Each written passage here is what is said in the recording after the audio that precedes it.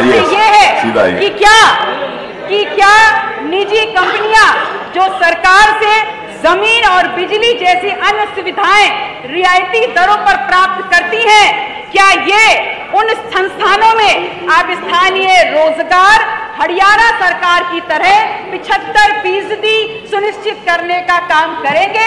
यदि हाँ तो कब यदि नहीं तो क्यों? बैठिए। मान्यवर मेरा दूसरा प्रश्न है चलिए, दोनों एक साथ क्या। 25 करोड़ की जनसंख्या वाले इस प्रदेश में हर साल दो करोड़ युवाओं को समायोजित करने के लिए आप प्रभावी कदम उठाएँगे?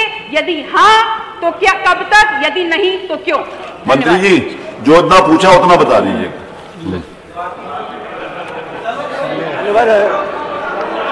मान्यवर अध्यक्ष जी मान्यवर अध्यक्ष जी माननीय सदस्य। आप पूछे अब बताइए माननीय सदस्य ने प्लीज़ बताइए।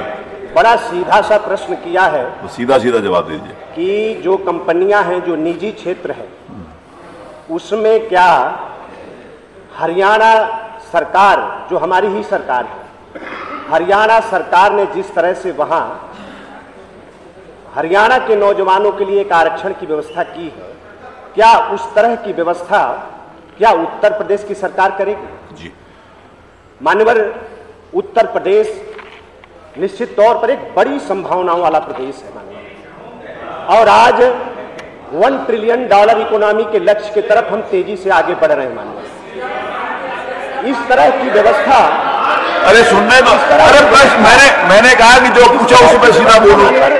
बोलने दीजिए ना मेरे को लगेगा कि वो बाहर बोले तो मैं खुद निवेदन कर लूँगा मंत्री जी देश के कई प्रदेशों ने इस तरह की व्यवस्था की और वो सफल नहीं हो पाए मान्यवर। हाँ सही।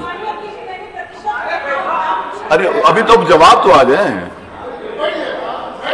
आप कहाँ सहयोगी दलों के चक्कर में पड़ी हो? आप तो मान्यवर कई प्रदेशों ने इस तरह की व्यवस्था की और इस तरह की व्यवस्था को प्रदेशों को वापस करना पड़ा।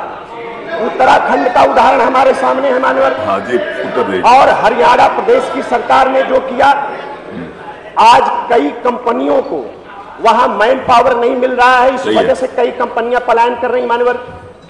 और ये व्यवस्था हम उत्तर प्रदेश में इसलिए नहीं ला सकते कि जो हमारी कंपनियाँ आज देश और दुनिया की कंपनियाँ आज उत्तर प्रदेश में आ रही हैं योगी जी की सरकार ने जो प्रयास किया है आज दुनिया भर के निवेशकों के लिए सबसे पसंदीदा डेस्टिनेशन आज उत्तर प्रदेश बना है मानवर और दुनिया भर की बड़ी बड़ी कंपनियाँ आ रही हैं।